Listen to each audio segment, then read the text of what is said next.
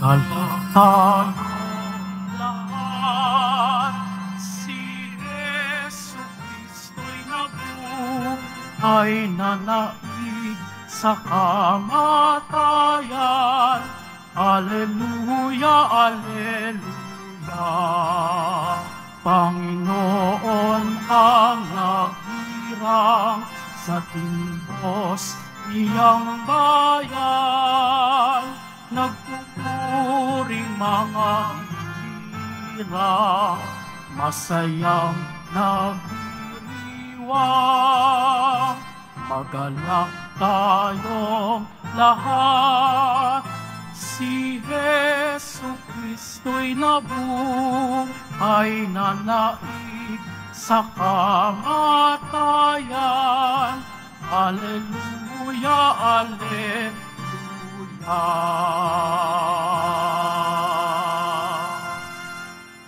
Simulan po natin ang ating pagdiriwang sa ngalan ng Ama at ng Anak at ng Espiritu Santo. Amen. Ang pagpapala ng ating Panginoong Heso Kristo, ang pag-ibig ng Diyos Ama at ang pakikipagkaisa ng Espiritu Santo naway sumainyong lahat. At sumaiyo rin. Mga kapatid kay Kristo at mga kadiboto, sa araw na ito ay samahan po ninyo ako sa aking pagdiriwang ng aking kaarawan, pagdiriwang ng buhay, pagdiriwang ng mga biyaya at pagpapalang kaloob sa atin ng ating Panginoon. Awa at habag ng ating mahal na poong Jesus Nazareno. Tayo pong lahat ay muli niyang tinipon bilang kaanib ng angka ng Diyos. Tinipon niya tayong lahat sapagkat mahal niya tayo.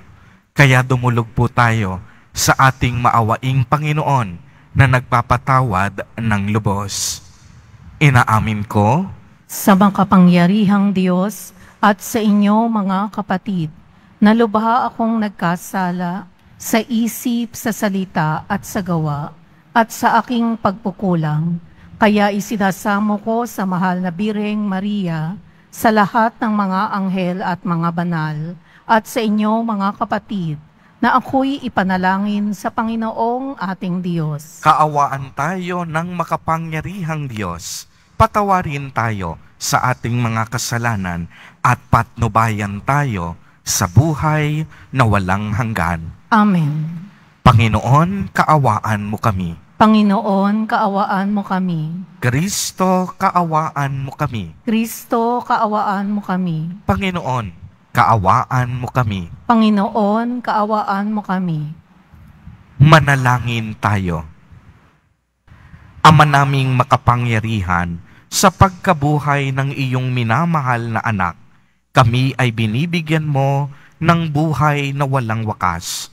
Pagkalooban mo kami ng pananalig at pag-asang matatag upang wag naming pag-alinlangan ang katuparan ng pangakong batid naming mangyayaring tiyakan sa pamamagitan ni Yesu Kristo kasama ng Espiritu Santo magpa sa walang hanggan. Amen. Magsiupo ang lahat.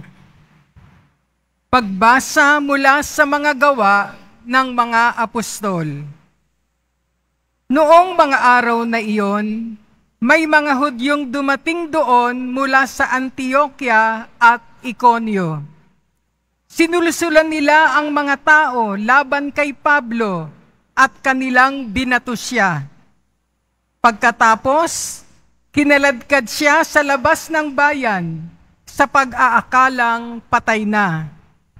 Subalit ng paligiran siya ng mga alagad, nagtindig si Pablo at pumasok sa lunsod. Kinabukasan, nagtungo sila ni Bernabe sa Derbe. Ipinangaral ni na Pablo at Bernabe ang mabuting balita sa Derbe at marami silang nahikayat na maging alagad. Pagkatapos, nagbalik sila sa Listra, sa Iconio at sa Antioquia ng Pisidia. Pinatatag nila ang kalooban ng mga alagad at pinagpayuhan na manatiling tapat sa pananampalataya. Magdaranas muna tayo ng maraming kapighatian bago makapasok sa kaharian ng Diyos. Turo nila sa kanila.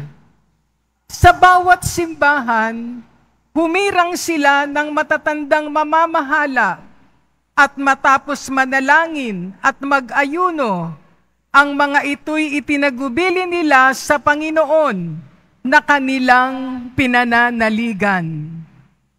Tinahak nila ang Pisidia at nakarating ng Pamplia. Ipinangaral nila sa Perga ang salita ng Diyos at pagkatapos ay bumaba sila sa Atalia. Mula roon, naglayag silang pabalik sa Antioquia. Dito sila nagsimula ng gawaing ginanap nila matapos silang itagubilin sa pagkalinga ng Diyos. Pagdating doon, tinipo nila ang mga kaskaanib sa simbahan at isinalaysay ang lahat ng ginawa ng Diyos sa pamamagitan nila at kung paanong binuksan niya ang daan upang makapanampalataya ang mga hentil. At mahabang panahon silang nanatili roon kasama ng mga alagad. Ang salita ng Diyos. Salamat sa Diyos. Talastas ng mga tao, dakilang paghahari mo. Talastas ng mga tao, dakilang paghahari mo.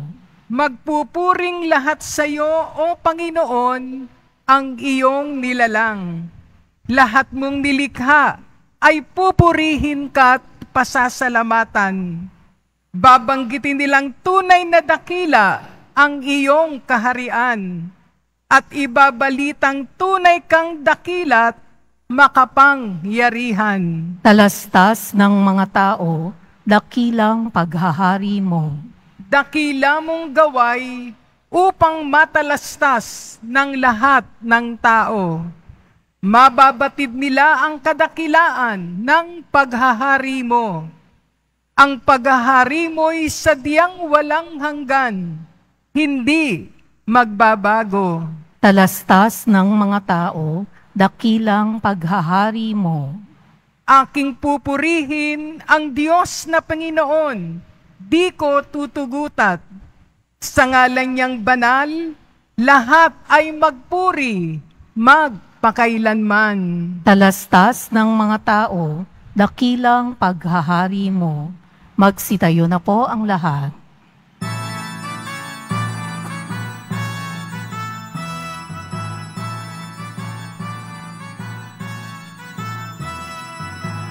Hallelujah.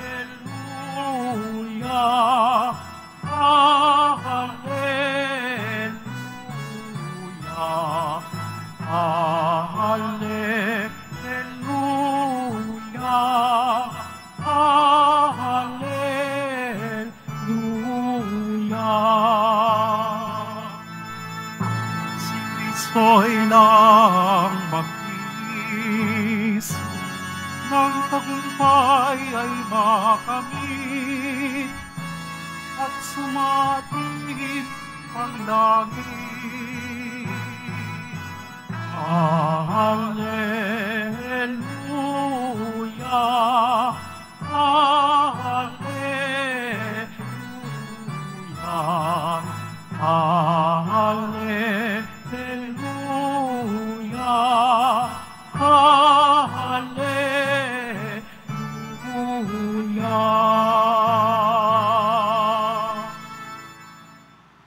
Sumainyo ang Panginoon. At sumaiyo rin. Ang mabuting balita ng Panginoon ayon kay San Juan. Papuri sa iyo, Panginoon. Noong panahong iyon, sinabi ni Jesus sa kanyang mga alagad, Kapayapaan ang iniiwan ko sa inyo. Ang aking kapayapaan ang ibinibigay ko sa inyo. Hindi ito katulad ng binibigay ng sanlibutan. Huwag kayong mabalisa, huwag kayong matakot. Sinabi ko na sa inyo, ako'y aalis, ngunit babalik ako. Kung iniibig ninyo ako, ikagagalak ninyo ang pagpunta ko sa Ama, sapagkat dakila ang Ama kaysa akin. Hindi nasabi ko na sa, ito sa inyo bago mangyari upang kung mangyari na, kayo'y manalig sa akin. Hindi na ako pakahahaba ng pagsasalita sa inyo sapagkat dumarating na ang pinuno ng sanlibutang ito. Wala siyang kapangyarihan sa akin, subalit dapat makilala ng sanlibutan na iniibig ko ang Ama at ang ginagawa ko'y ang iniutos niya sa akin. Ang mabuting balita ng Panginoon, Pinupuri ka namin, Panginoong Heso Kristo. Magsiupo ang lahat.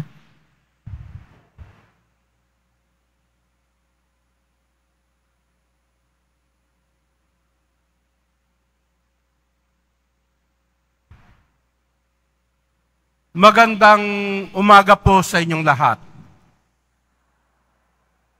Sa misang ito, tayo ay nagpapasalamat sa Panginoon Diyos sa biyaya ng buhay na ibinigay niya sa ating lahat at lalong-lalo na kay Father Robert na nagdiriwang ng kanyang kaarawan sa araw na ito.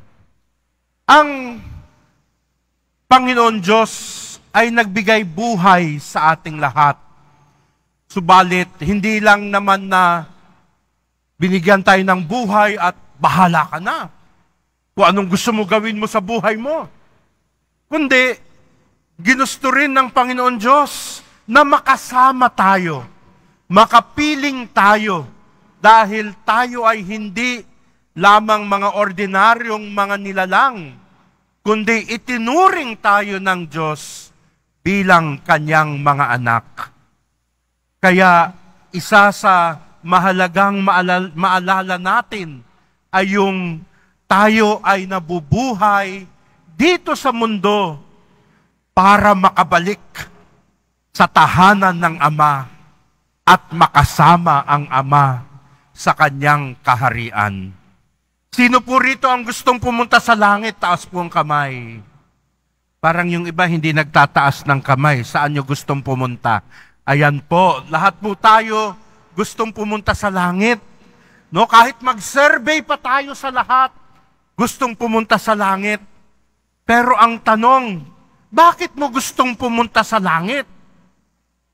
No? Ang sagot ng iba, kasi mainit sa impyerno. Kasi ayaw ko sa impyerno, eh mainit na nga dito sa Pilipinas, mas mainit pa sa impyerno. Eh, tayo ba ay umaayaw pumunta sa impyerno? O, o, o ginugusto pa natin pumunta sa, sa langit dahil natatakot lamang tayo na mapunta sa impyerno? Hindi ba dapat gustuhin natin pumunta sa langit dahil gusto natin makasama ang Diyos? Dahil gusto natin makasama ang ating Ama sa langit. At yan ang ipinakita sa atin ni Jesus na siya, pagkatapos ng kanyang gawain dito sa mundo, siya ay babalik sa Ama. Makakapilit, makakasama niya ang ating Ama sa langit.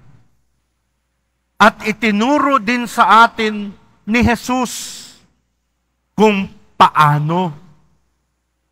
Ano ba ang kinakailangan? Sabi dito sa Ebanghelyo, sabi niya, iniibig ko ang Ama.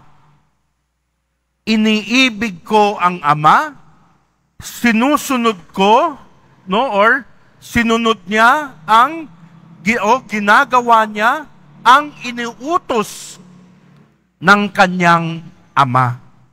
Magkarugtong po yon. Una, mahal niya ang kanyang ama. Siguro yun din ang magandang tanungin natin sa sarili natin. Mahal rin ba natin ang Diyos? Dahil kung wala tayong pagmamahal sa Diyos, pag wala tayong pagmamahal sa ating Ama, hindi na tayo susunod kung ano-ano na lang ang gagawin natin sa buhay natin. Magpapabaya na tayo, magwawala na tayo sa buhay natin. Wala namang, hindi naman natin mahal ang ating Ama. Subalit kung mahal natin ang Diyos, kalakip nun ay yung pagsunod sa Kanyang kautosan. Pagsunod sa Kanyang kagustuhan. Kaya mga kapatid, yan ang itinuro sa atin ng ating poong Nazareno. Siya ay nagmahal sa ating Ama at sumunod sa kagustuhan ng Ama. Kaya ba natin tularan ang ating mahal na poong Nazareno? Kaya ba nating tumulad kay Jesus bilang kanyang mga disipulo na magmahal sa ating Ama. At hindi lamang pagmamahal, kundi patunayan natin ang ating pagmamahal sa pamamagitan ng pagsunod sa Kanya. Kasi po, sa totoo lang, meron namang ibang nagsasabi, mahal ko ang Diyos, pero hindi sumusunod sa gusto ng Diyos pinipilit pa rin ang sariling pananaw, pinipilit pa rin ang sariling kagustuhan kaysa yung kagustuhan ng Diyos. Kaya magkarugtong po yun, no? magkarugtong. Yung pagmamahal sa ating Diyos Ama at pagsunod sa kalooban ng Diyos. At alam natin, kung yan ay ating gagawin, sa grasya ng Diyos, sa awa ng Diyos, makakasama natin, makakapiling natin ang ating Diyos sa langit. Kaya tandaan natin, lahat tayo ay pauwi, lumalakbay, pauwi sa tahanan ng ating Ama. Gusto ng Diyos na makapiling tayo. Huwag tayong lalayo huwag tayong pupunta sa ibang direksyon. Sana nakapokus ang pag-ibig natin sa ating Ama. At ganun din po ang nakita ko kay Father Robert sa ilang taon ko siyang nakilala. Nung seminarista pa lang po siya, nakasama ko na po siya sa mga recollection. No? Magaling siyang magpahayag maayos, ma, malina, maliwanag ang kanyang mga paliwanag tungkol sa salita ng Diyos. At nung siya ay naordinahang pare, ganun din, mas nag-alab ang kanyang pagmamahal sa ating Diyos at pagsunod sa kagustuhan ng ating Ama. At napansin ko po, nung siya ay dito na po na-assign sa dambana ng ating poong Nazareno.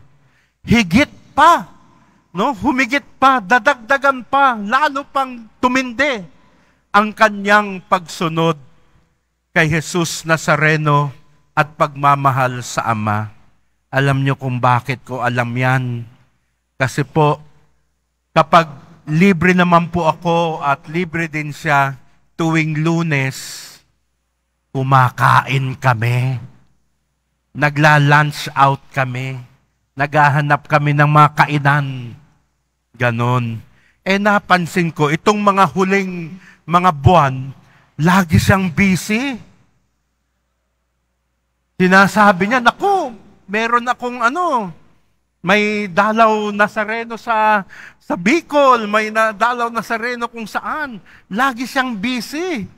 No? Hindi busy sa kakakain, kundi busy na ipahayag ang kabutihan ng Diyos sa atin sa pagdala ng debosyon ng poong Nazareno sa iba't ibang parokya, sa iba't ibang lugar.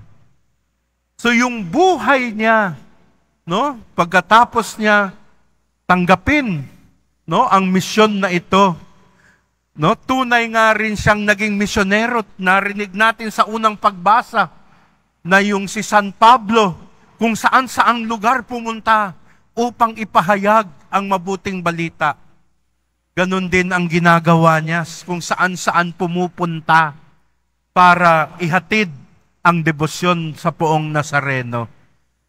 At doon makikita natin kung paano na si Father Robert sa pamamagitan ng kanyang debosyon sa ating poong Nazareno ay patuloy ding sumusunod sa kagustuhan ng ating Ama.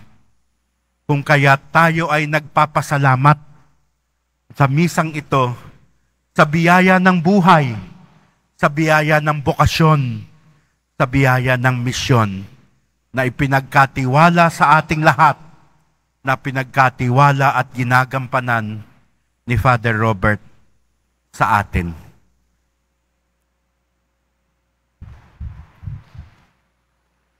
Magsitayo na po ang lahat. Minamahal kong mga kapatid, ang pinakadakilang handog sa atin ng ating Panginoong muling nabuhay ay ang kapayapaang hindi maibibigay ng mundo. Sa ngalan niya, hingin natin sa Ama ang lahat ng ating mga pangangailangan. Sa bawat panalangin ang atin pong itutugon, Panginoon, ipagkaloob mo sa amin ang iyong kapayapaan Panginoon, ipagkaloob mo sa amin ang iyong kapayapaan. Ang mga pinuno ng simbahan, naway magsikap na itaguyod ang lahat ng tao tungo sa pagkakaunawaan, pagtutulungan at kapayapaan.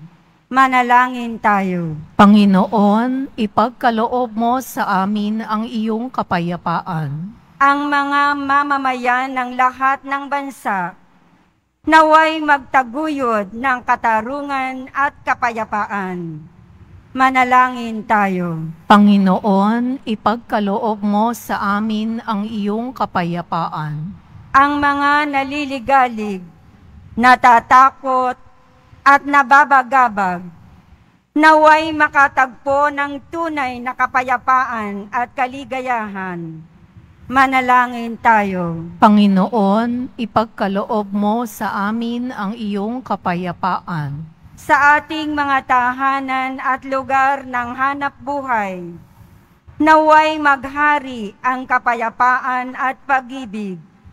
Manalangin tayo. Panginoon, ipagkaloob mo sa amin ang iyong kapayapaan. Ang mga yumao, naway magtamasa ng walang hanggang kapayapaan. Manalangin tayo. Panginoon, ipagkaloob mo sa amin ang iyong kapayapaan. Isama din natin sa ating mga panalangin ang lahat ng ating mga kadibotong nagdiriwang ng kanilang kaarawan at anibersaryo ng kasal. Gayon din ang ating mga kapatid na nangangailangan, ang lahat ng mga mahihirap, mga nagugutom. Manalangin tayo sa Panginoon. Panginoon, ipagkaloob mo sa amin ang iyong kapayapaan. Panginoong Diyos, ipagkaloob mo sa amin ang kapayapaang kailangan namin. Tulungan mo kaming makipagkasundo sa aming mga sarili, sa aming kapwa, at higit sa lahat, sa aming mga kaaway. Hinihiling namin ito sa pamamagitan ni Kristo na aming Panginoon. Amen. Magsiupo ang lahat.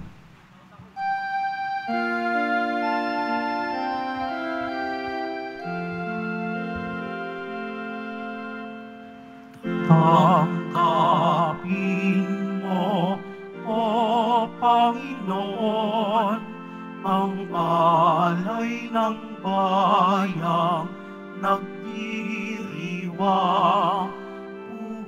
Tinan mong bigay ang anak at tinapay, handog na pagkabuhay.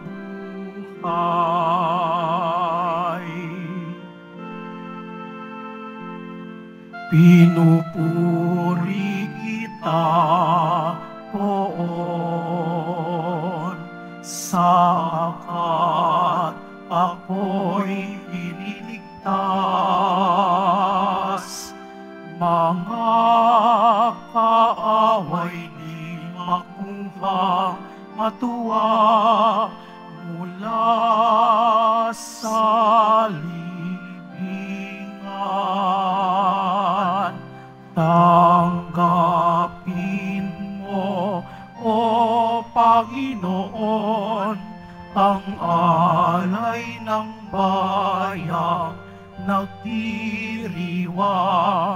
Puhunan mong bigay ang alak at tinapay, handog na pagkabuhay. Magsitayo ang lahat. Manalangin kayo mga kapatid upang ang paghahain natin ay kalugdan ng Diyos amang makapangyarihan. Tanggapin nawa ng Panginoon itong paghahain sa iyong mga kamay, sa kapurihan niya at karangalan, sa ating kapakinabangan, at sa buong sambayanan niyang banal. Ama naming lumikha, tanggapin mo ang mga alay ng iyong sambayanang natutuwa, ang pagkabuhay ng iyong anak na niloob mong aming ikatuwa ngayon ay papagbungahin mo ng galak na mananatili sa amin habang panahon sa pamamagitan niya kasama ng Espiritu Santo magpa sa walang hanggan. Amen. Sumainyo ang Panginoon. At sumaiyo rin. Itaas sa Diyos ang inyong puso at diwa. Itinaas na namin sa Panginoon. Pasalamatan natin ang Panginoong ating Diyos. Marapat na siya ay pasalamatan. Ama naming makapangyarihan, tunay ngang marapat na ikaw ay aming pasalamatan. Ngayong ipinagdiriwang ang paghahain ng Mesiyas, ang maamong tupa na tumubos sa aming lahat. Ang katawan ng anak mong sa krus na bayubay ay handog ng pag-ibig na walang kapantay. Ito ang paghahaing ganap mong kinalugdan. Ito ang nilunggati ng dating pag-aalay. Ang buong sarili ng anak mong si Jesus ay inihain sa iyo upang kami matubos. Siya ang dambana at paring naghahandog. Siya pa rin ang tupang handog na ibinukod. Kaya kaisa ng mga anghel na nagsisiawit ng papuri sa iyo nang walang humpay sa kalangitan, kami nagbubunyi sa iyong kadakilaan.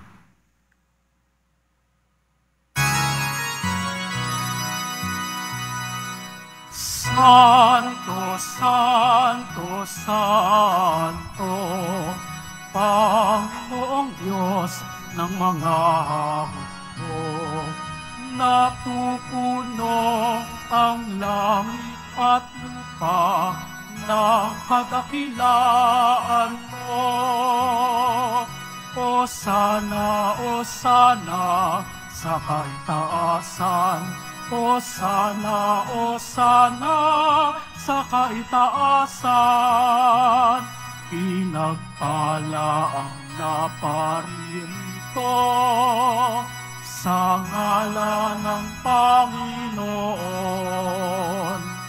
O sana, o sana, sa kaitaasan, o sana, o sana, sa kaitaasan. Magsiluhod ang lahat. Ama naming banal, ikaw ang bukal ng tanang kabanalan. Kaya't sa pamamagitan ng iyong Espiritu, ay gawin mo pong banal ang mga kaloob na ito upang para sa amin ay maging katawan at dugo ng aming Panginoong Heso Kristo. Bago niya pinagtiis ang pusang loob na maging handog, hinawakan niya ang tinapay, pinasalamatan kaniya, pinagati-hati niya iyon, iniabot sa kaniyang mga alagad at sinabi, Tanggapin ninyong lahat ito at kanin. Ito ang aking katawan na ihahandog para sa inyo.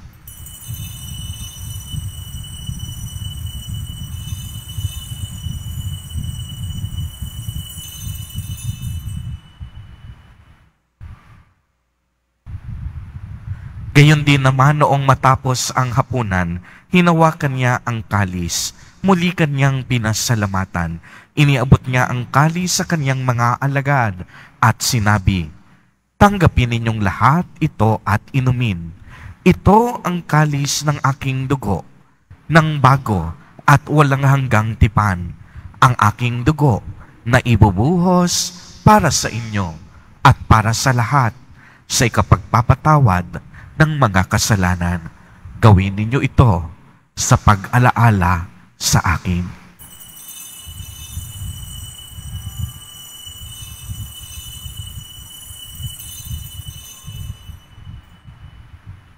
Magsitayo ang lahat. Ang misteryo ng pananampalataya. Si Kristo'y namatay, si Kristo'y nabuhay, si Kristo'y babalik sa wakas ng panahon. Ama, ginagawa po namin ngayon ang pag-alaala sa pagkamatay at muling pagkabuhay ng iyong anak. Kaya't iniaalay namin sa iyo ang tinapay na nagbibigay buhay at ang kalis na nagkakaloob ng kaligtasan. Kami po'y nagpapasalamat dahil kami iyong minarapat na tumayo sa harap mo para maglingkod sa iyo. Isinasamo namin na kaming magsasalo-salo sa katawan at dugo ni Kristo ay mabuklod sa pagkakaisa sa pamamagitan ng Espiritu Santo.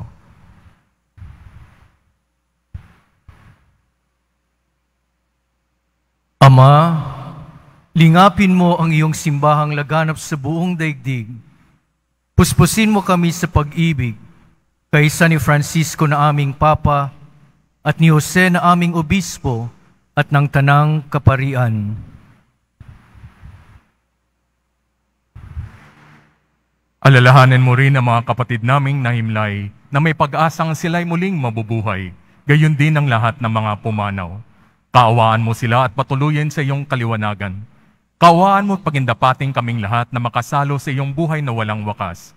Kaysa na mahal na Bereng Maria na ina ng Diyos, ng kanyang kabiyak sa puso si San Jose, kaisa ng mga apostol, si San Juan Bautista, ang lahat ng mga banal at nang namuhay dito sa daigdig ng kalugod-lugod sa iyo. May pagdiwang nawa namin ang pagpupuri si kararangal mo sa pamamagitan ng iyong anak na aming Panginoong Heso Kristo.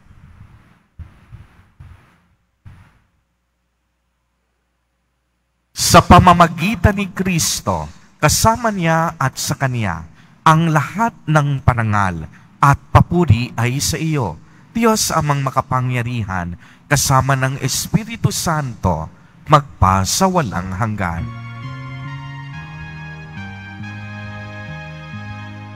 Amen, Amen, Amen,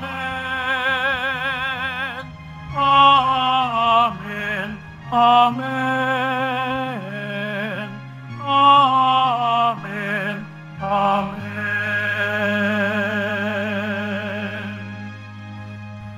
Sa tagubilin ng mga nakagagaling na utos at turo ni Jesus na Panginoon natin at Diyos, ipahayag po natin ng lakas loob.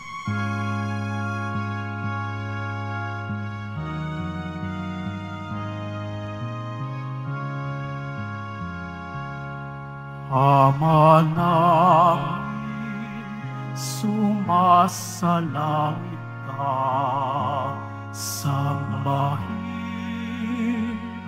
ang ngalan mo, mapasa amin ang kaharian mo, sundin ang loob mo, dito sa lupa para ng salangit. Bigyan mo kami ngayon ng amin. Kakanin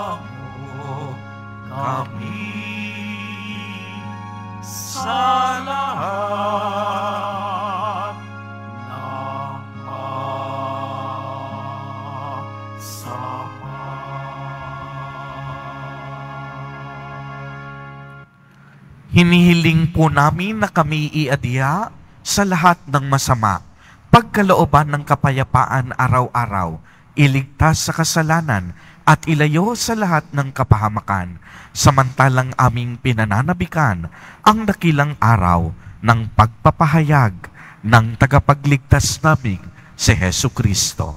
Sapagkat iyo ang kaharian at ang kapangyarihan at ang kapurihan, magpakailanman. Amen. Panginoong Heso Kristo, sinabi mo sa iyong mga apostol, Kapayapaan ang iniiwan ko sa inyo. Ang aking kapayapaan ang ibinibigay ko sa inyo. Tunghayan mo ang aming pananampalataya at huwag ang aming mga pagkakasala. Pagkalooban mo po kami ng kapayapaan at pagkakaisa ayon sa iyong kalooban kasama ng Espiritu Santo magpa sa walang hanggan. Amen. Ang kapayapaan ng Panginoon ay laging sumainyo. At sumaiyo rin. Magbigayan kayo ng kapayapaan sa isa't isa.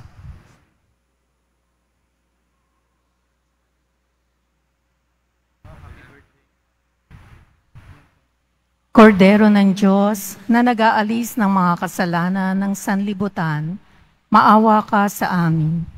Kordero ng Diyos na nag-aalis ng mga kasalanan ng sanlibutan, maawa ka sa amin.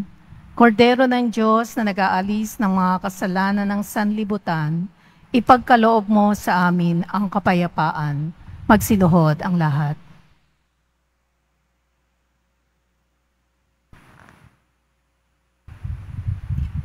Mga kapatid kay Kristo at mga kadiboto, narito po ang ating Nuestro Padre, Jesus Nazareno. Lumapit po tayo sa Kanya at magbalik loob. Siya ang kordero ng Diyos. Siya ang nag-aalis ng mga kasalanan ng sanlibutan. Mapapalad po tayo na inaanyayahan sa Kanyang piging. Panginoon, hindi ako karapat-dapat na magpatuloy sa iyo, ngunit sa isang salita mo lamang ay gagaling na ako. Ipagsanggalang nawa tayo ng katawan at dugo ni Kristo para sa buhay na walang hanggan. Amen.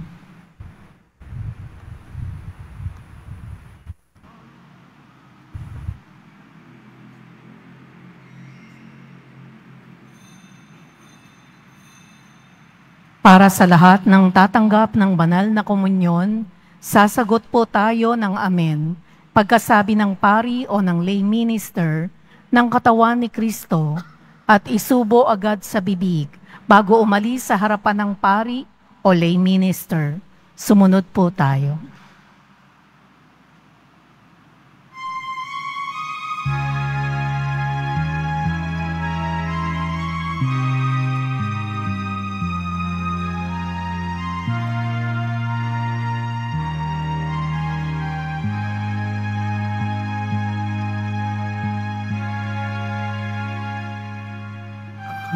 Kailan ka man, di mawawalan pag-ibig ko sa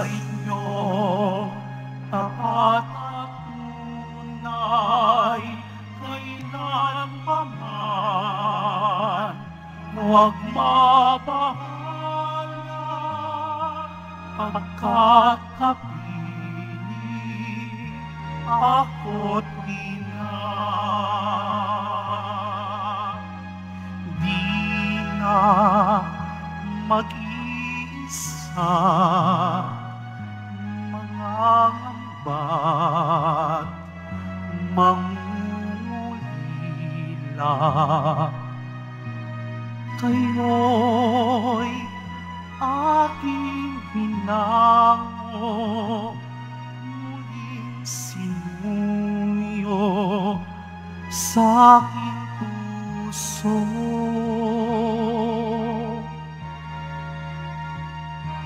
Kailan pa man di mawawalan pag-ibig ko sa iyo tapat at tunay kailan pa man huwag na bahala pagkat kapiling ako't ina kahit anong dilim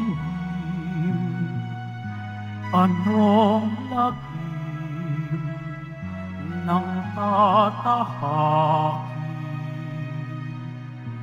kayo'y aalagaan gagabayan kailan pa man?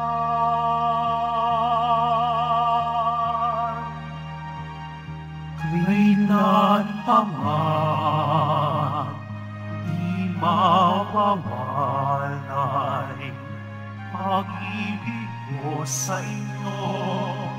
Tapat at tunay kailan pa man huwag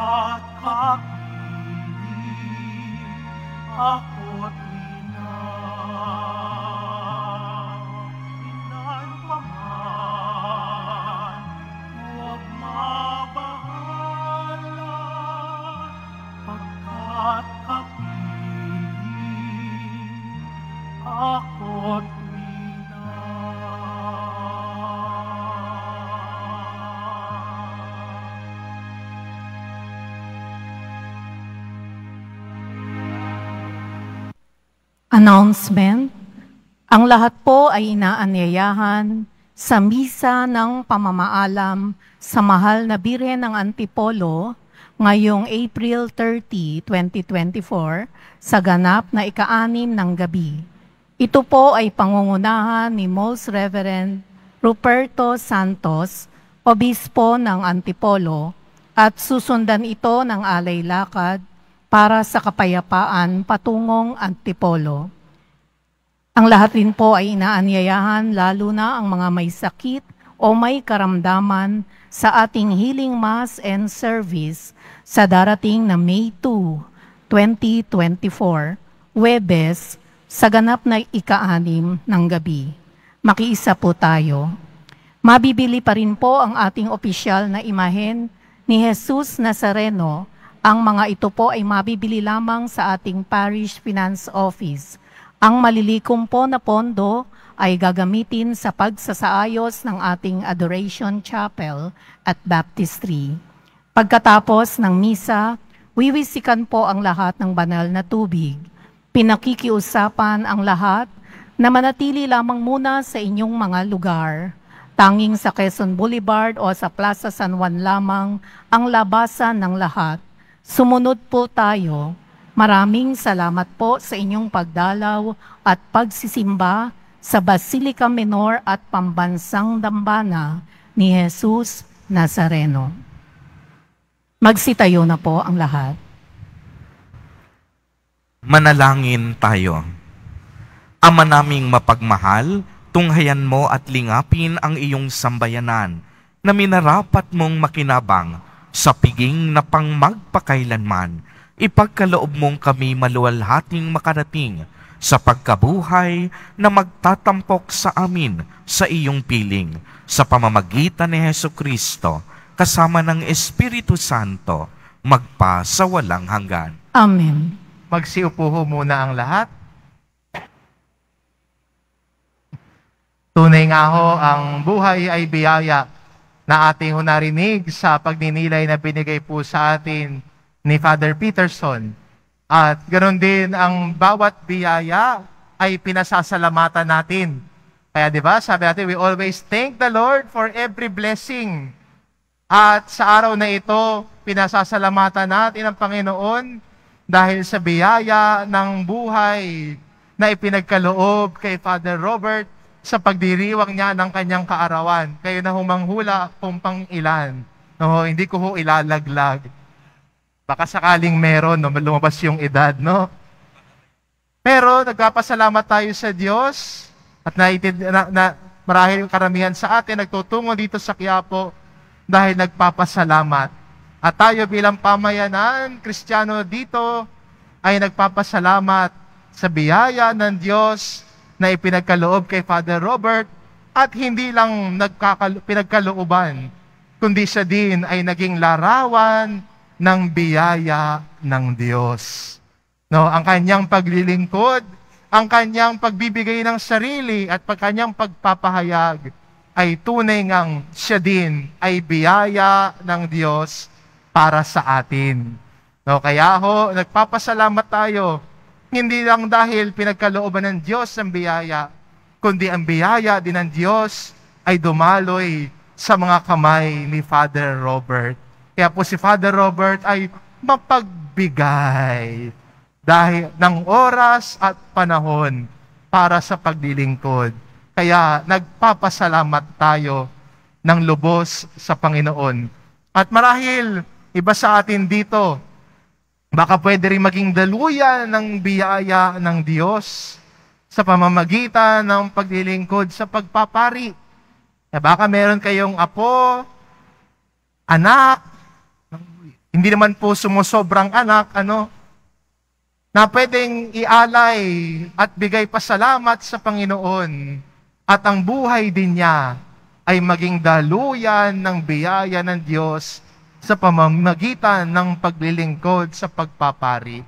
Baka meron sa inyo gusto magpari, may kakilalang gusto ding magpari, encourage natin sila na tugunin at sundan ang tawag ng Diyos na maging biyaya din para sa pamayan ng Kristiyano ang kanyang buhay. Tulad po ni Father Robert, siya po ay biyaya sa ating lahat. Ang buhay niya ay biyaya ng Diyos para sa atin. Kaya ho, sa ngalan po ng pamayanan natin dito sa simbahan ng Quiapo, na pinapangunahan ni Father June Sescon, ang mga naglilingkod, ang mga ministries, at ang lahat ng mga deboto, no? ang iyong mga kadeboto, no? na inaakay mo palapit kay Jesus Nazareno, nais ka naming batiin ng isang maligayang kaarawan. Happy birthday, Father Robert.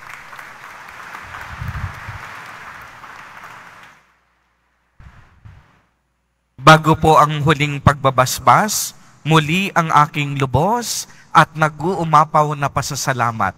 Unang-una po sa lahat ng ating mga kadiboto at kalakbay na nakipagdiwang at nakisalo sa banal na hapunan, sa banal na Eucharistiyang kaloob mismo ng ating mahal na pong Jesus Nazareno.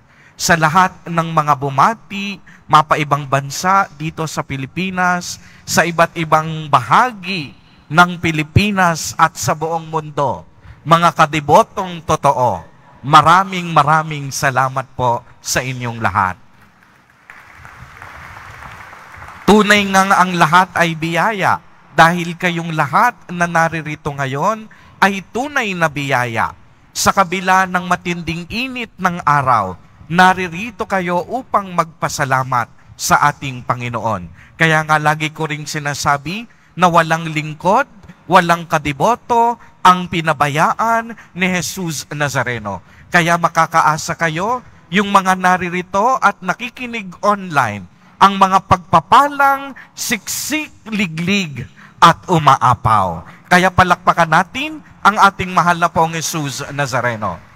Gayon din po, hindi ko na iisa-isahin pa, kagaya ng sinabi ni Father Jonathan, ang lahat ng mga ministries and organization dito sa dambana ni Jesus Nazareno, sa lahat ng ating mga servers, seminaryan, maraming maraming salamat po. At higit sa lahat, sa mga staff and employee ng ating dambana, maraming maraming salamat po. Pwede bang tumayo po kayo? Sila po ang aming mga katuwang at kaagapay. Yung mga ating mga empleyado, yan, tayo po kayo para makilala kayo. Ayan, palakpakan po natin sila. Sila po ang kaagapay ng Quiapo Church sa aming paglilingkod sa inyong lahat. At gayon din po ang aking pasasalamat sa mga paring naririto ngayon. Unang-una po sa mga paring kasamahan ko po sa Lorenzo Ruiz Mission Society. Unahin na po namin ang aking classmate, ano, si Father Tom Kalingasan. Maraming salamat po. Gayon din po ang director ng St. Peter's School, Father Emil Ascanio. Maraming salamat po. Ang aking unang kura paroko sa Damar Village, Immaculate Conception Parish, Father Lloyd Yuo. At ang ating homilis ngayon ay hindi lang kasamahan, kung hindi aming vicar foreign, Father Peterson Tieng. Ayan. Alam nyo na po kung bakit ako lumalaki, ha? Hindi dahil mapilit ako, kung hindi pinipilit po ako ni Father Pete na maging katulad niya. Kasi alam nyo po kung bakit ako sumasama. Nililibre niya po ako. At ayun lang yung dahilan na hindi dahil malakas po akong kumain. Kung hindi yun po ay treat lagi ni Father Pete, Father Peter Sonseng. At higit sa lahat po, yung mga kasamahan ko dito sa simbahan, sa Minor Basilica at Pambansang Dambana ni Jesus Nazareno, Father Paul Medina, si Father Frank Villanueva, ang talagang may-ari ng 5 a.m. Mass. At ako'y humahalili lamang sa kanya. At sana patuloy ang pagaling ni Father Frank. At gayon din po, syempre, si Father Jonathan Mojica, ang nagbigay ng mensahe patungkol sa aking kaarawan, Father Jess, at higit sa lahat, ang tumatayong ama ng ating simbahan at komunidad, Father June Sescon, ang ama ng Quiapo Church. Father June, maraming salamat po. Si Father June po ang dahilan kung bakit may birthday mass po ako. Alam niyo po, dapat ako'y magtatago sa Ana sa Tagaytay. Magdadasal lang ng simple at tahimik. Pero sabi ni Father June, hindi pwede. Kailangang ibigay natin ang ating sarili para sa mga kapwa, kadiboto at kalakbay. At tunay ngang si Father June, inspirasyon naming lahat, kaya kami sunod sa Kanya, obedience. At higit sa lahat, no, nagpapasalamat ako dahil kasama natin dito ngayon ang ating mahal na ina mula pa sa International Shrine ng Antipolo, Our Lady of Good Voyage po and Our Lady of Peace, ang ating mahal na ina. Palakpakan po natin kasama ngayon sa pagdiriwang ng banal na Eucharistia. At higit sa lahat, ang pinakasentro ng Eucharistia, ang ating hari tagapagligtas, ang dahilan kung bakit tayo ay may buhay, ang dahilan kung bakit tayo naririto, ang dahilan kung bakit tayo nagpapasalamat, ang ating Nuestro Padre, Jesus Nazareno. Ibigay natin ang pinakamalakas na palakpak. At yung dalawang dikon, ano, nakalimutan ko. Soon to be priest na tong dalawang to. Reverend EJ and Reverend Mark. Maraming maraming salamat po. Sa aking kapatid, kamag-anak, kaibigan at kakilala. Maraming maraming salamat po. Walang hanggang pasasalamat. Tumayo po ang lahat. Sumainyo ang Panginoon. At sumaiyo rin. Pagbabasbas, mahal na poong Jesus Nazareno, inihayag mo sa pamamagitan ng krus ang walang maliw na pag-ibig ng Diyos sa sangkatauhan. Pakinggan mo ang kahilingan ng iyong angkan na nagsusumamo sa iyo. Makamtanawa nila ang iyong katugunan at tanggapin ang kasagutan na may utang na loob na tinatanaw. Basbasan din po ninyo ang mga daladala nilang mga imahen at dasalan. Sa pamamagitan ng bendisyon na ito, naway maalala nila ang mga pangako nila noon sa binyag na ikaw ang kanilang iibigin at paglilingkuran bilang Panginoon magpa sa walang hanggan. Amen. At pagpalain po kayong lahat at ng inyong buong pamilya ng makapangyarihang Diyos, Ama, Anak, at Espiritu Santo. Amen. Humayo kayong mapayapa, taglay ang pag-ibig ng mahal na poong Jesus Nazareno. Salamat sa Diyos.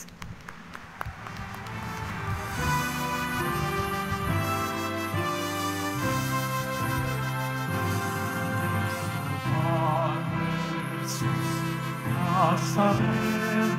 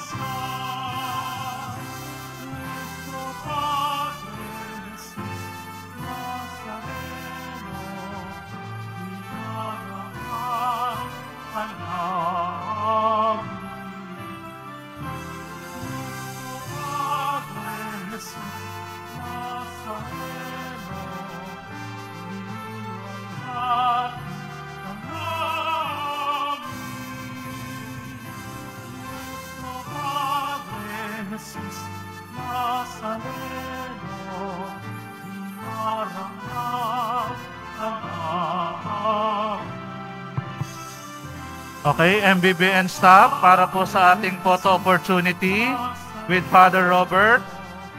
Lahat ng MBBN staff, punta na po dito sa sa ating altar.